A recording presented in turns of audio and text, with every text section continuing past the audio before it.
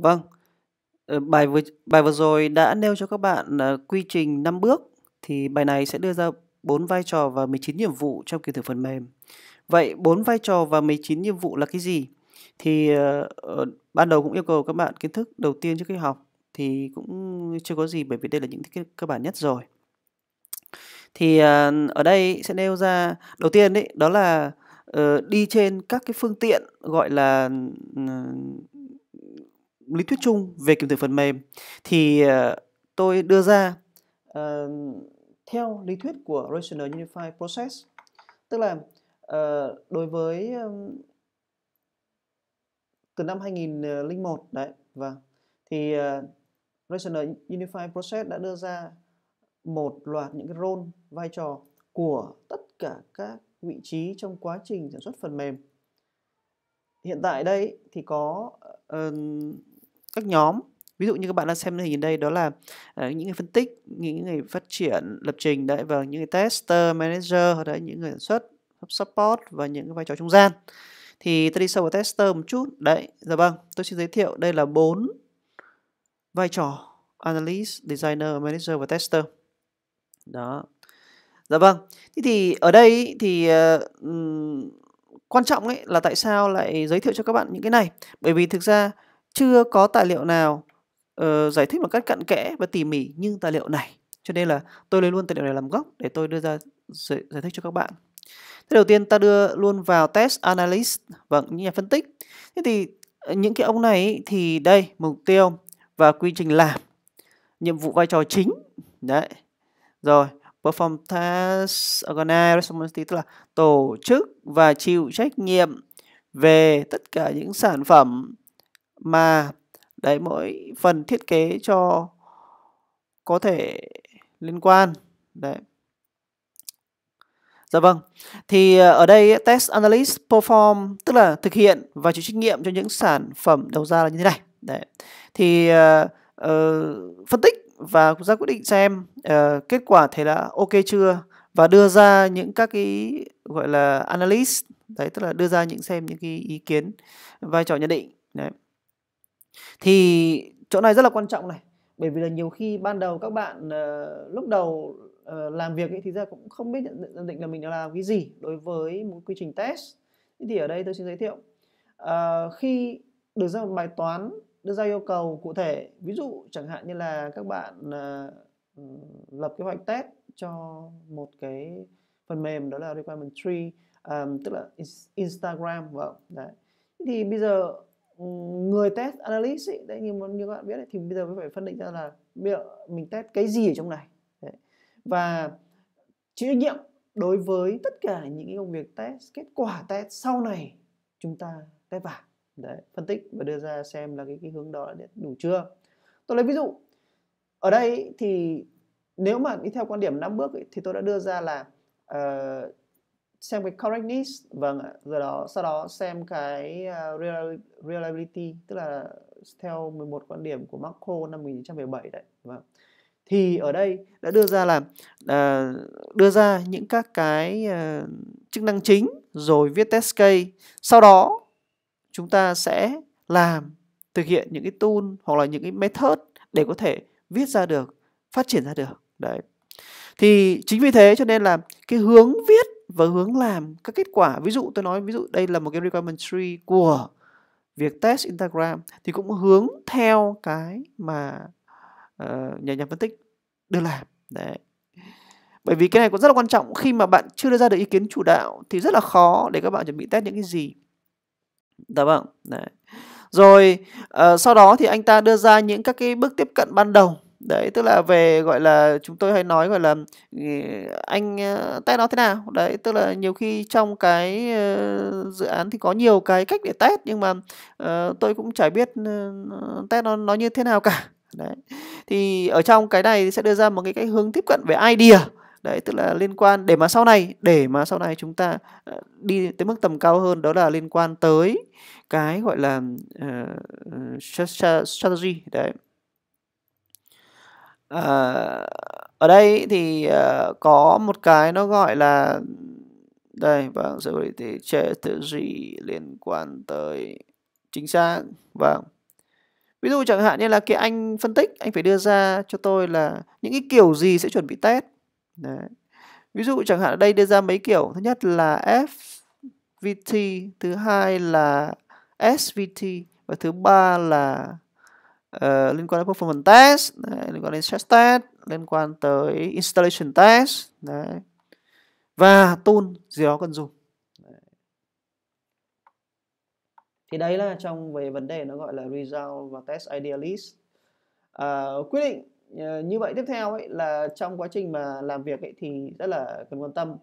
Một điểm nữa khi mà bug sample và test case được test xong thì anh test analyst này cũng có một cái quan điểm đó gọi là nhận diện xem là những cái lỗi nào. Đấy, là có thể nằm trong ở vùng mà đặc quyền cần phải test cẩn thận và dính líu tới những yêu cầu nào để có thể quản lý tới. Đấy. Điều đó thì phụ thuộc viết trong test case và viết trong backlist anh quản lý thế nào thôi.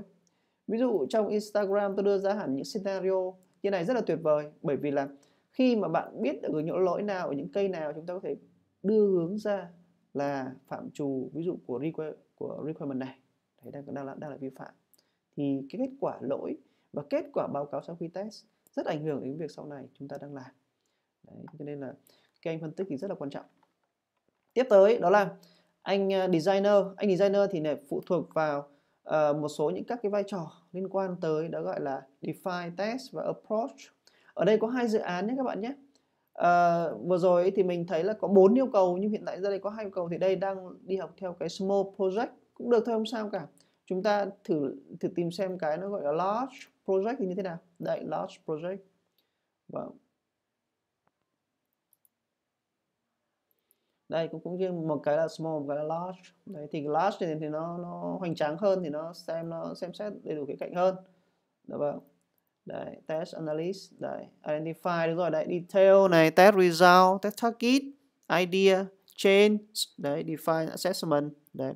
Thì ở đây có case đấy data result dealist và workload analysis model đấy. Workload analysis model liên quan tới việc mà sau này bạn làm performance test thế nào. Đấy thì tí nữa thì tôi sẽ được giao cho bạn một cái ví dụ. Ở đây uh, đây thì cũng uh, liên quan tới uh, workload analysis model đấy Dạ vâng. Ờ, trong này thì có một cái gọi là liên quan tới report tới performance. Đấy. Đây. Ví dụ như là trong cái quá trình mà các bạn uh, sử dụng cái uh, yêu cầu để quan liên quan tới việc mà ảnh hưởng tới môi trường và đo hiệu năng thế nào thì nó có một loạt những các cái request liên quan tới việc là uh, nhanh chậm nhanh nhất là 4 giây. Chậm nhất là 12 giây. Thì uh, mình phải có một cái mẫu cái, cái công cách để làm thì mới viết ra được những cái test case này được. Đấy.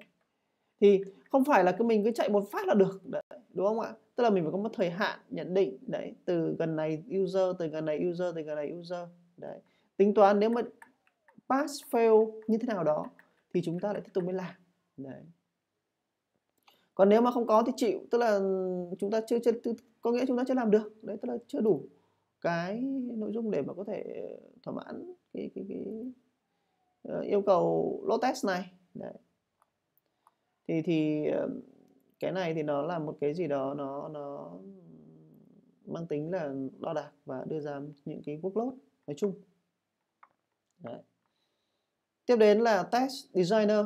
Đấy, thì liên quan tới việc mà liên quan đến đưa ra những cái tiếp cận về test này định nghĩa về môi trường rồi đưa ra những các cái cần thiết để mà uh, yếu tố có thể ờ, test ở trong đấy. Đấy như kiểu như tôi đang nói với các bạn là đường hướng ban đầu analyst để đưa ra những phân tích cho những cái kiểu test. Đấy thì ờ, uh, test design sẽ thiết kế cho các bạn là cụ thể trong cái này test những cái gì.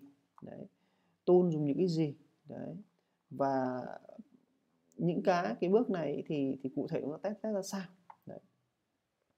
thì kết quả có design có phương pháp để auto có môi trường. Để trong cái này có những cái cái cấu trúc để có gọi là thực hiện công việc test nhé đấy.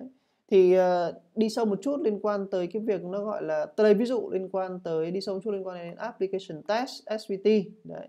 Thì đấy các bạn hãy yêu một cùng mục tiêu đó là uh, một số các tool công cụ được cài đặt này rồi phải thực hiện test ở trong những các cái uh, ví dụ như là component S client và S server ở tất cả các chức năng. Đấy. Thì ở đây thực sự là công kỹ thuật này đấy thì các bạn sẽ phải là thực hiện đấy những công việc nó gọi là viết ra những các cái ứng dụng uh, tức là những cái test case để để test ở trên những ứng dụng ví dụ như là Word này ví dụ như Excel PowerPoint đấy mỗi cái ứng dụng thì phải được cài lên client server là những Windows này đấy, server trên Windows kia này đấy. Thì uh, tất cả những các cái vấn đề liên quan tới liên quan tới OS và phải được confirm với các với khách hàng đấy đối với cái, ờ, cái, cái, cái hiệu đính môi trường của nó uh, với với đúng cái uh, số version của nó đấy. Thì kết thúc của công việc application test này tức là mọi lỗi nếu có đấy thì phải được fix đấy đúng không tức là test case phải support tới hệ thống ờ, uh, support customer đấy và sẽ được sử dụng trong tất cả những cái ứng dụng đấy. và test case phải thực hiện là và pass hết đấy tức là phải có sự viết test case đấy phải có thực hiện ờ, pass hết đấy. tương tự như vậy trong performance test đấy Thế thì cái cách mà phân tích đưa ra cho test designer để mà hoàn thiện trong test strategy là như vậy. Cách hướng tiếp cận automation cũng vậy và các workload performance model cũng vậy. Đấy. Và cuối cùng các bạn phải đưa ra một loạt những cái gọi là cái test suite này, tức là là tập hợp những cái test case để thực hiện ở trong một loạt những các cái chung ở những cái nhóm công việc nào. Đấy, chứ hay là chúng ta gọi là nhóm có test case thì gọi là test suite. Đấy. Rồi, đến lượt anh test manager. Test manager thì làm những việc sau. Thứ nhất là uh, đưa ra mục tiêu, vâng, đồng ý với nhiệm vụ với chất lượng. Đấy, chúng ta phải theo chuẩn nào, theo quy trình nào. à, liên quan tới việc là ước lượng cái effort để làm ra bao nhiêu. Cái này thì làm được với ta gọi là project manager để đưa ra schedule để xem công việc với effort đấy à, và xem cụ thể những công việc như thế nào thì các bạn sẽ có những các cái ờ, ước lượng sau test plan đấy công việc của nó kết quả công việc của là thì test manager phải viết test plan chứ không phải các bạn đâu tester chưa chưa có khả năng viết test plan còn evaluation evaluation summary nữa vâng. À, đưa ra đấy những các gọi là motivator test motivator. Ở đây nó nó là những các cái ờ, ờ, công việc và những các cái cái cái cái mục tiêu để mà thực hiện công việc đó. Tức là có bao nhiêu công việc được được đưa ra được gọi là test đấy. Obtain testability commitment đấy vâng. Tức là như vậy là những các cái công việc test đó sẽ được hoàn thành và được thực hiện đạt theo chuẩn tiêu chuẩn gì thì được gọi là hoàn thành công việc đó. Đấy. Thì tất cả những cái này đều đã ở trong test plan đưa được rồi.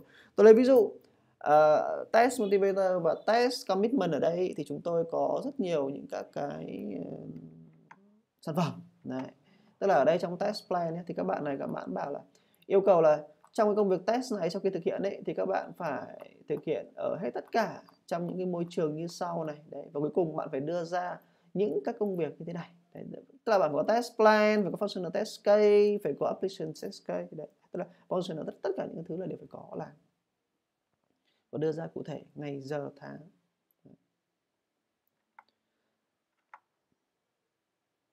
Và cuối cùng tester. Tester thì thực hiện đơn giản thôi. Tức là sẽ lốc lỗi. Đơn đơn, đơn giản là lốc lỗi. Rồi thực hiện test. Đấy thực hiện test và dùng những cái script này nếu có trong automation script như bài trước đã nêu rồi đấy, thì đã sẽ thực hiện nó và đến khi nào? Đấy, thì các bạn cứ thực hiện theo các bước test case. Đấy, như này, tôi lấy ví dụ chẳng hạn như là đây là một test case đấy. Và thực hiện hết step này step này step này, đấy, hết các test case và đưa ra là pass hay fail. Đấy, pass, fail. Nếu có lỗi thì lốc vào lỗi. Ví dụ đây chẳng hạn, tôi đang lốc vào lỗi này. Đấy. ví dụ test case này đang có lỗi là 513 563 đây test case này đang có lỗi năm này. Đấy thì cái việc này là cái việc làm liên quan tới uh, tester. Thế còn cụ thể hơn ý là bug có thể lốc lốc lỗi vào trong một Excel hoặc là trong một cái chương trình quản lý lỗi nào đấy. Có thể là bug Zilla có thể là Pivotal Tracker này hoặc là có thể bug Jira. Thì tất nhiên là có những cái cái mà các bạn thực hiện theo quản lý nào cũng được. Đấy thì có cách nào quản lý tốt hơn nhất thì thì làm thì trên đây là vừa rồi là năm uh, vai trò và 19 nhiệm vụ tôi đã nêu qua. Đấy thì uh, thực sự thực sự là ở trong cái này thì tùy từng dự án chỉ có các vai trò nào đó thôi. Có những dự án chỉ có một tester cho nên là một tester đảm nhận hết bốn vai trò. Không phải là lúc nào cũng có toàn bộ những cái vai trò ấy cả. Đấy. Đấy thì có mấy cái ý kiến như vậy thì các bạn có thể đưa ra để uh, xem xét xem là các vai trò và nhiệm vụ thực sự đối với lý thuyết và trên thực tế đến thế nào? Dạ vâng cảm ơn các bạn đã tham gia cùng chúng tôi bài học vừa rồi. Mình hy vọng rằng qua bài học vừa rồi đã đưa cho các bạn những kiến thức cần thiết trong quá trình làm việc ở thực tế. Mọi đóng góp ý kiến xin đưa xuống dưới clip hoặc các bạn góp ý qua trang facebook của chúng tôi. Cảm ơn các bạn. Hẹn gặp lại các bạn trong các bài học tiếp theo.